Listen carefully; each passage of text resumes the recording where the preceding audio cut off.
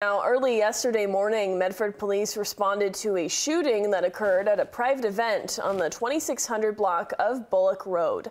The shooting happened Sunday morning around 2:50. Multiple agencies responded to assist MPD at the event of approximately 80 people.